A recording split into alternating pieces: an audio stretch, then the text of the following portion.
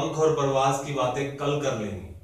आज ज़मीन मिली है, थोड़ा चलना तो सीख लें। नमस्कार, मैं Sanjay Kalodiwal your biology mentor and you are watching hero classes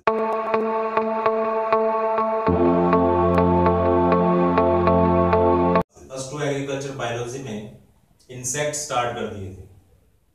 कीट, फ़सलों और भंडारण के प्रमुख कीट क्रॉप एंड स्टोरेज इंसेक्ट उसमें उन्होंने दो इंसेक्ट कंप्लीट कर लिए। पहला था कातरा रेड हेरी कैटरपिलर और दूसरा उन्होंने किया था कौन सा? व्हाइट ग्रब या सफ़ेद लट। जो आज का अपना इंसेक्ट है वो है टिड्डा या टिड्डी या लोकस्ट देखिए ग्रास होपर की बात करें ग्रास होपर की टोटल पाँच हज़ार स्पीसीज है, वो ले आउट करती है ओवर द वर्ल्ड पूरे विश्व में पाँच हज़ार प्रजातियाँ मिलती है ग्रास ओपर की, जो साइज़ में भी बड़ा होता है। अब बात करते हैं लोकस्ट और ग्रास ओपर में क्या डिफरेंस है?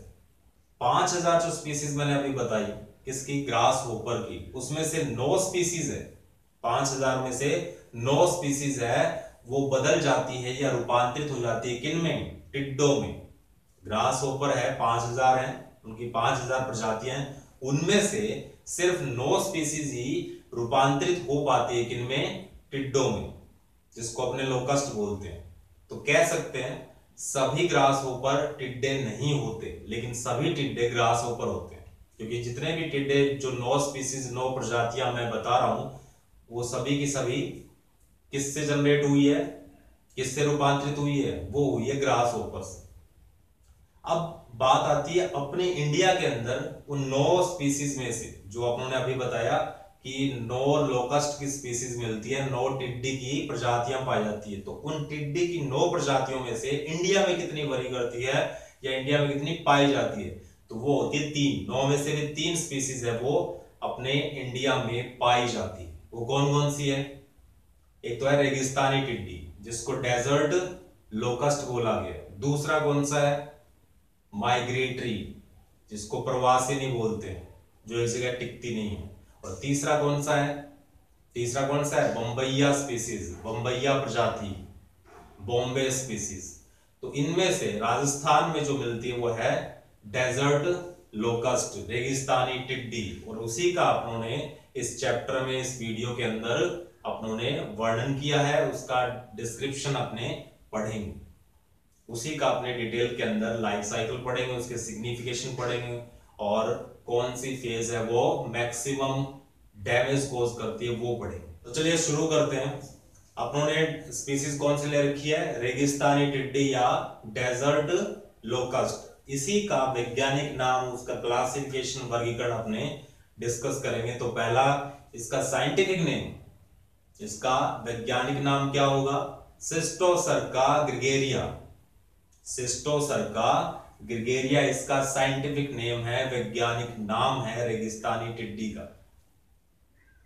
डेजर्ट लोकस्ट का। उसके बाद ऑर्डर कौन सा है? गण कौन सा है? ऑर्थोप्टेरा। ऑर्थोप्टेरा इसका गण है और तीसरा फैमिली कौन सी है? एक्रीडिडी। इसका जो कुल है वो रहेगा एक्रीडिडी। तो ये इसका वर्गीकरण हो गया, वैज्ञानिक नाम हो गया सिस्टोसर्का ग्रिगेरिया। गण इसका कौन सा ऑर्डर कौन सा हो गया? ऑर्थोप्टेरा और फैमिली या कुल हो गया एक्रीडिडी ये जो तीन स्पीसीज मैंने अभी बताई है, तीन कौन कौन सी? एक तो रेगिस्तानी, दूसरी कौन सी प्रवासिनी और तीसरी कौन सी होगी बम्बैया पहली जो डेजर्ट जिसके अपने अपनों वर्णन करेंगे अपने अभी, और दूसरा कौन सा है? कौन सा है? प्रवासिनी और तीसरी होगी बम्बैया तो प्रवासिनी या माइग्रेटरी स्पीसीज है, और तीसरी कौन सी है? बम्बई या बॉम्बे स्पीसीज जो इन तीनों में से इन तीनों स्पीसीज में से जो रेगिस्तानी टिड्डी है, जो डेजर्ट लोकस्ट है, वो मैक्सिमम डैमेज कोज करती है। सबसे सर्वाधिक हानिकारक है। सत्तर देशों में इसका प्रकोप देखा जाता है। दूसरी अगर अपने प्रवासिनी की बात करें, जो माइग्रेटरी या प्रवासिनी स्पीसीज है, उसका वैज्ञानिक नाम क्या होता है? लोकस्टा माइग्रेटोरिया लोकस्टा लोकस्टा माइग्रेटोरिया और तीसरी जो बम्बैया स्पीसीज है, उसका नाम रहेगा पतंगा सक्सिंगटा। और इन तीनों में से भी मोस्ट डेंजरस स्पीसीज कौन सी है? डेजर्ट जिसको अपने पढ़ रहे हैं। सेस्टोसरका अब दूसरे फैक्ट की बात करते हैं कि कौन कौन सी फ़सलों को नुकसान पहुंचाता है। तो ये भी खरीफ फ़सलों को नुकसान पहुंचाता है मैक्सिमम खरीफ फ़सलों को सर्वाधिक नुकसान पहुंचाता है। जैसे कि पिछले अपने दो कीट पड़े थे, वो भी खरीफ फ़सलों को नुकसान पहुंचाते हैं। ये भी खरीफ फ़सलों को, खरीफ क्रॉप्स को डैमेज कोज करता है। इसके साथ साथ जो नर्सरी के प्लांट होते हैं, जो पौध अपने जिनको बोलते हैं नर्सरी के अंदर जो प्लांट लगाए होते हैं छोटे पादप, उनको भी ये नुकसान पहुंचाता है। इसके अलावा पॉइंट टू बी नोटेड है, वो कौन सा है? आग, धतूरा, शीशम, जामुन, इनको ये कोई नुकसान नहीं पहुंचाता। आग शीशम, धतूरा और जामुन को कोई नुकसान नहीं पहुंचाता। ये आप दिमाग में बिठा लीजिए। इस इंसेक्ट में लोकस्ट में या टिड्डी में या क्रिकेट भी बोल देते हैं इसको कई बार। क्रिकेट भी बोला जाता है। उन्हें इसका जीवन काल भी पढ़ेंगे, लेकिन उससे पहले इसके जीवन काल में कुछ प्रावस्थाएँ आती है और उसको अलग से एक पॉइंट टॉपिक दे रखा है। उसका नाम है, कौन सा नाम है?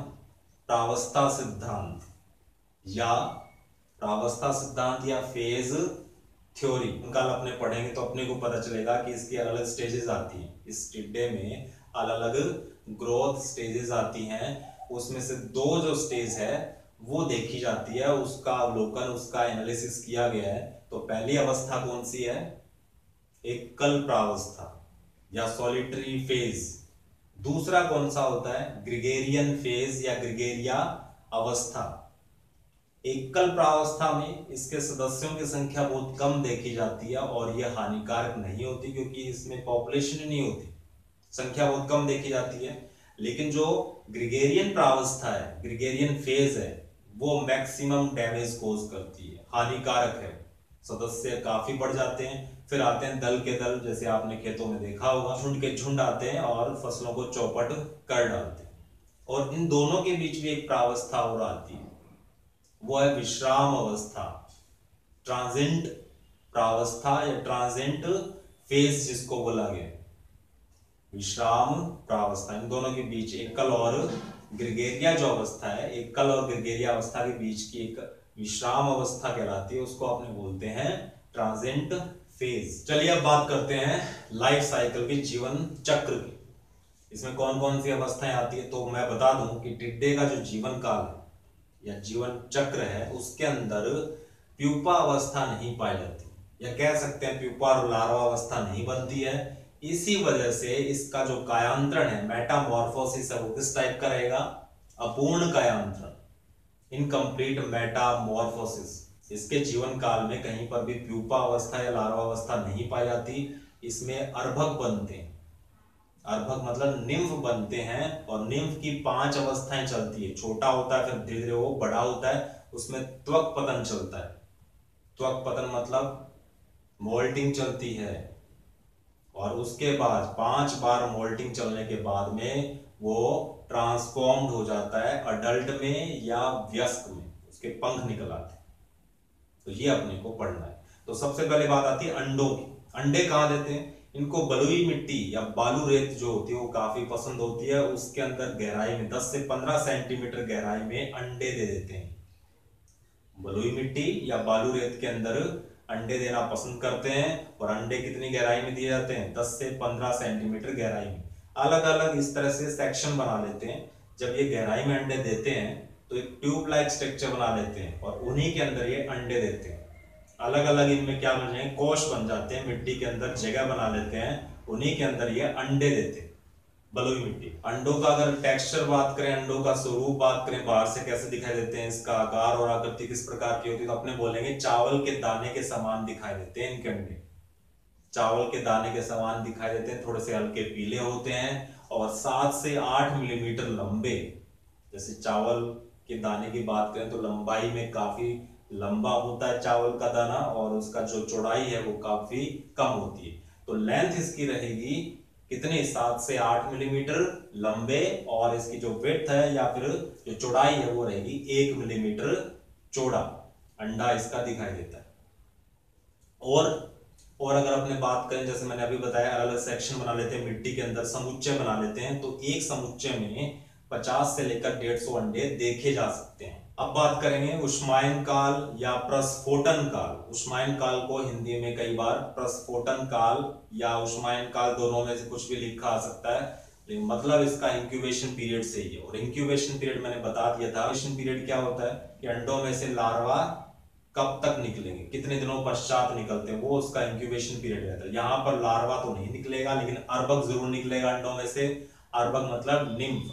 तो वो रहता है दस से लेकर चालीस दिनों का समय काफ़ी लंबा रहता है। दस से लेकर चालीस दिनों का समय उष्मायन काल माना गया है, देखा गया उसके बाद अपने बात करें, मैंने अभी बात की त्वक पतन की, मोल्टिंग की। कितनी बार मैंने कहा इसमें प्यूपावस्था और लार्वा अवस्था नहीं बनती, इसमें अर्बक आता है, निम्फ आता है। तो निम्फ है, पाँच अवस्थाओं से गुजरता है नहीं वो पाँच बार मोल्टिंग करता है या पाँच बार त्वक पतन करता है, और उसके बाद अडल्ट में या व्यस्क में रूपांतरित हो जाता है।